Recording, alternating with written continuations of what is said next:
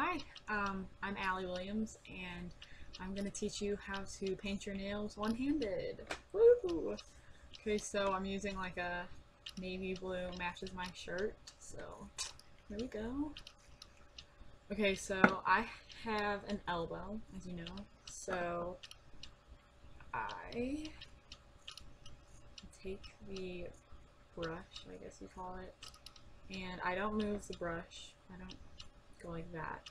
But I take my nail and I use it like this.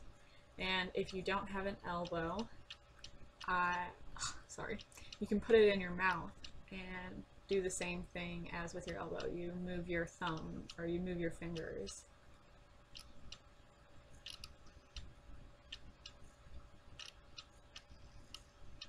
Okay, so here we go. Not the best. Like, I still get messy sometimes. Just wipe it off if you don't, you know.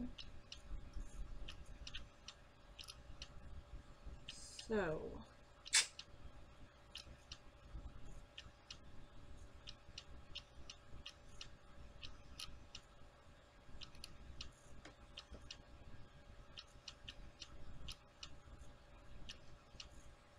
See, there's a thumb.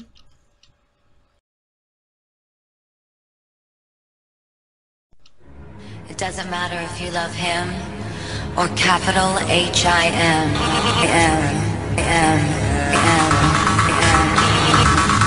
Just put your Yeah, I know my mom got tired of painting my nails and she just she told me one day like no I'm not doing your nails you need to figure out how to do them and so that's why I think that don't baby your kids if you do have a child missing a limb, you know, you push them to figure out their own ways of doing things and they will, you know, better from it.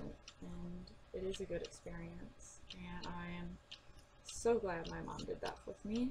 So.